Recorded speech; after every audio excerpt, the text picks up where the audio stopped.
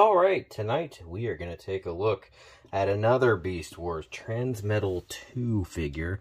This is the Heroic Maximal Stinkbomb. Yes, that's right. This is a Transmetal transforming Autobot skunk with a chrome tail from hell and his head literally coming out of his ass. So, first thing you'll notice is the chrome tail. This is, uh, ah! I dropped you. I apologize. I'm not editing that out. Uh, is, uh, you'll notice is the chrome tail. I think it's, there's parts of it that are mistransformation. Uh, there's some obvious things here. Um, it's got good articulation. Now, this thing is very old, and the ball joints on this definitely need some floor polish or some of that stuff they sell now uh, because it's just so loose. He's super loose. But the chrome actually looks pretty good. And you've got a little bit of white down his tail. Eh, focus. You got some white on his tail. Because uh, he's a skunk, so he's got the white here. Uh, they did a lot of the mechanical in yellow and a little bit of gold. Uh, he's got red eyes. You can come back here and flip this side up to see that he is indeed a heroic maximal. Cool little feature they did. Kind of like a reveal the shield, but a little bit different. Uh, so there you go. Uh, these guys are generally cheap. Uh, I've only seen a couple of them, though. I didn't even know this was a thing. It's one of the ones I don't really put in my collection, but I got for the kids. Uh, they liked it. They thought it was cool. So I've got this and uh, a Transmetal 2 Cheetor and a Frog that we'll take a look at in another video. So this is the Maximal Stinkbomb. So he's got good articulation in robot mode, or in, in alt mode beast mode. His tail goes up and down. Uh, again, I don't have any of the weapons or anything. Let's take a look in robot mode. Alright, here we have Stinkbomb in robot mode. Uh, so, first thing you'll notice is he's got the best hair of anybody. Uh, I don't think I have the back right, but um, it's a bit tight. And this is a very old figure, and I'm a little bit worried about breaking him.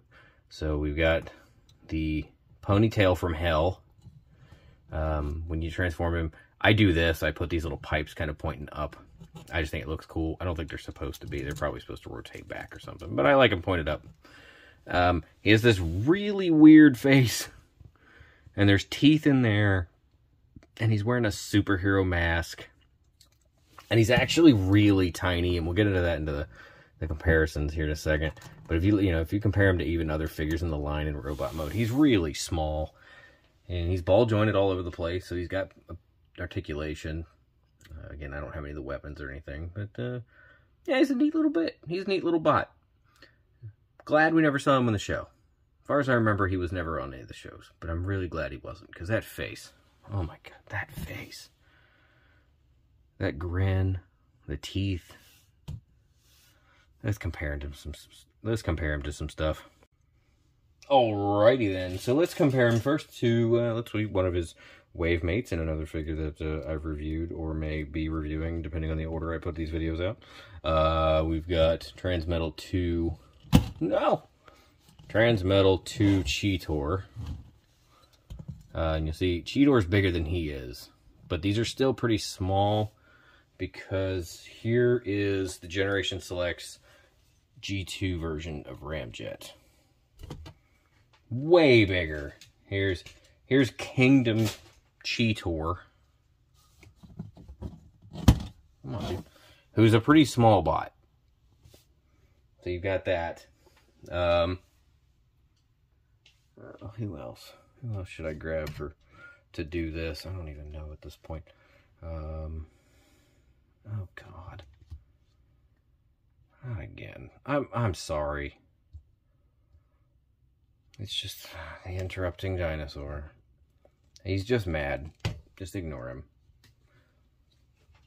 Um, let's see. Here's the Walgreens red alert.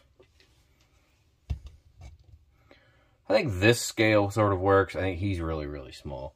But he was, you know, probably a smaller. I don't remember, remember what class he is. The classes change so often. So, there you go. If you pick him up and you think he's a neat little just thing to have, since he is a transforming skunk, which is pretty kind of awesome, Um, if you find one, get one.